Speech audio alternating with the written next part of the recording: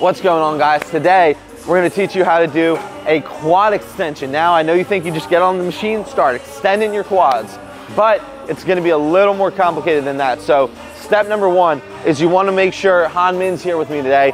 His knee is in line with this little green dot, right? That little green dot is called the axis of rotation. You want your knee to be in line with the axis of rotation. So he's got his back pad adjusted so that that knee joint is in line with the axis of rotation. From there, as Han Min so graciously did, he set the pad up so that this pad is in his mid to low shin. It's not into his ankle right here, okay? The reason being is when the pad is down here, right, it's going to induce a ton of knee pain or it can induce a ton of knee pain. So having it on that shin is gonna be amazing. So from there, he's got everything in line. He's got his knee in line with the axis of rotation. His shins are placed perfectly on this machine. He's, he's lying back.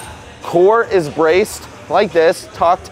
Pelvis is tucked down, core is braced. From there, what we're gonna do, and I'm gonna do it for him, is we're gonna set it up, right? So do an extension. This is the wrong range of motion right here. So do a little extension, right? And just bring it up and come down, right? Let it, let it drop down.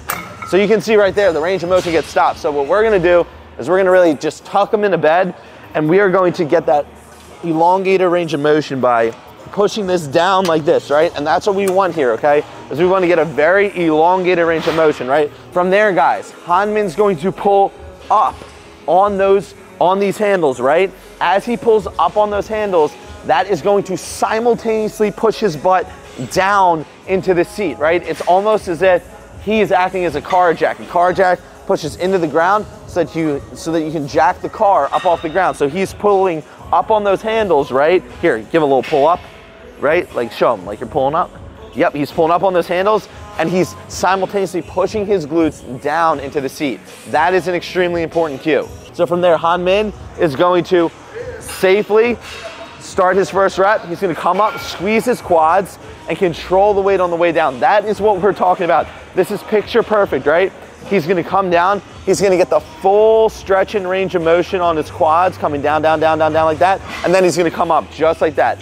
That is a perfect quad extension, okay?